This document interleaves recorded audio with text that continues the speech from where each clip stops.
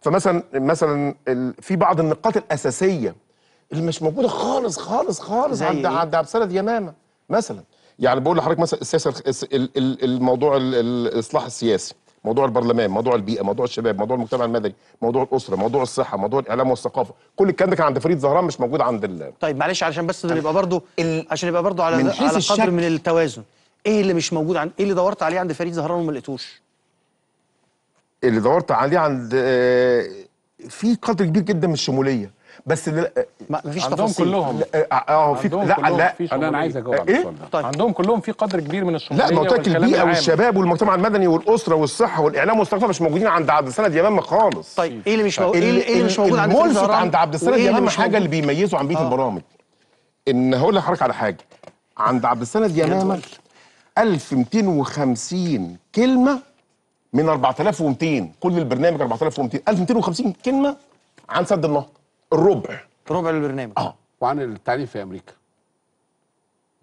أحد ال أحد ال- النقاط الفنية في اللي كتب آه. ال- البرنامج ده لابد أن يلام كلام منطقي بيتكلم عن تجربة التعليم في أمريكا. في برنامج آه. مكثف مقدم للمواطن المصري عن اللجنة اللي اتعصرت في أمريكا والرئيس قرر كده ثانية واحدة بس. ثم عامل القصة بتاع سد النهضة آه، آه، اتفاقية 1902 و29 ولجنة ملك ولازم نروح كذا واتفاقيه التشاطر.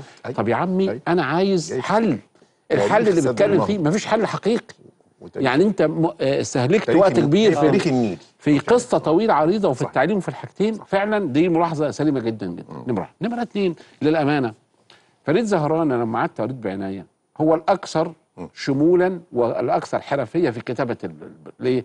لأنه عنده ممارسة سياسية طويلة عنده فهم سياسي وحقيقية. بيخاطب بيخاطب نخبة معينة. ممكن ما يروحش لل- للمواطن العادي القطاع الاعرض لكن لما أنا هقرأ ده لو حد هيقعد يحاسب لا عامل كلام وفي كلام جدير بالنقاش. صحيح. في الاقتصاد بمناسبة ال- ال- الدولار هو مش كاتب الدولار مباشرة لكن بيتكلم على العشر ال- ال- العشر القرارات اللي الأولى. هياخدها. من أول آه، قصر ملكيه الدولة على المشروعات الاستراتيجية الكبرى، ارجاء أي مشروعات قومية، خفض النفقات غير الضرورية، إلزام الحكومة الاستراتيجية تخليص الدين العام، جدوله الديون المستحقة، توجيه كافة اجهزه الدولة لمشروع وطني صناعي، تشكيل حكومة جديدة، آه، وحدة الموازنة. حاجات كتيرة تقدر تاخد منها تصور اللي هو تصور إصلاحي بيتكلم في نقاط. حضراتكم أنتوا الاثنين قبل ما أروح للدكتور محمد حضراتكم أنتوا الاثنين ما اتكلمتوش بأي شكل من الأشكال عن برنامج المرشح حازم. لا لا جاي لك أنا. المرشح حازم هو الأقل صفحتين بالظبط اللي لقيتهم. حاجة محدودة جدا. صفحتين أهم. ماشي؟ طيب اهو brochure take طيب away. ال- لا أيوة، لكن. لكن كلام ثانية واحدة بس. أحد النقاط الانتقادية الحقيقية لهذا البرنامج كلام عام شديد العموميه في كل الحاجات.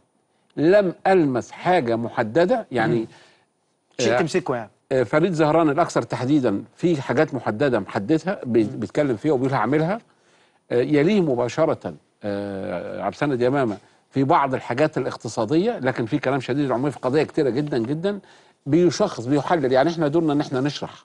عبد السند يمامه في البرنامج بتاعه بيتكلم كأنه محلل سياسي مش مرشح انتخابي بيطرح نقاط محددة يقول للناس انتخبوني على أساسها. أخونا آه، حازم عمر للأسف الشديد كلام آه،